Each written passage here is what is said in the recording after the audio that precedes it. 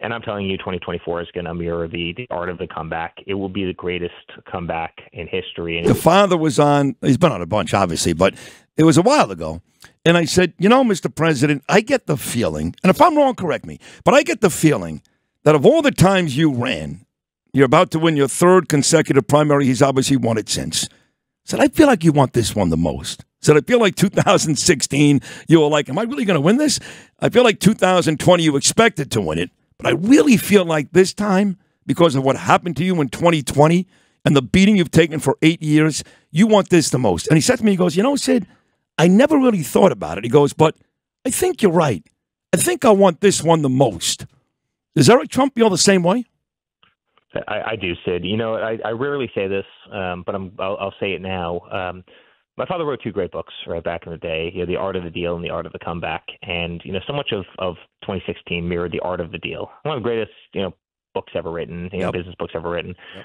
And I'm telling you, 2024 is going to mirror the, the art of the comeback. It will be the greatest comeback in history. And if, if you look at so many of the things he talks about, never give up, never get in, you know, stick to your convictions, never stop working, never lose the momentum. And you know, if you really kind of take that and apply it to, to politics, right? And it's kind of hard to believe that, you know, those books were written 25 years ago, but you apply it to politics. I mean, I, I really believe that that story, the art of a comeback, is is um you know is is in you know full effect and in full force right now, and I think we're going to see it again. And um, you know, the, the movement's never been stronger. People's love has never been stronger. People love this country. I mean, people people love this country, and people love him. I can't get on a plane without people coming up to me you know, half the time with tears in their eyes, passing me mm-hmm. little napkins. We love you. You know, here's my lucky. A lady came up to me yesterday, right before our event.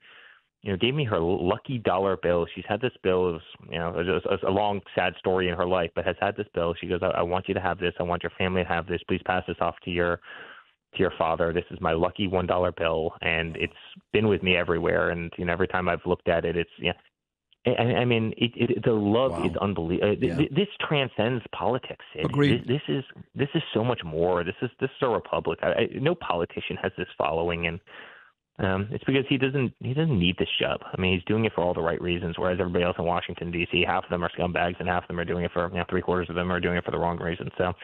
Uh, no, I'm incredibly proud of the man, and I will fight by his side every day, and on the business side, obviously, and on the political side when he needs me. And um, you'll see me a lot on TV, and it's an honor to be with you. I consider you a great friend, and uh, oh, you've just been the greatest. Uh, thank you, and man. I'm honored, I'm honored to have you be the second husband of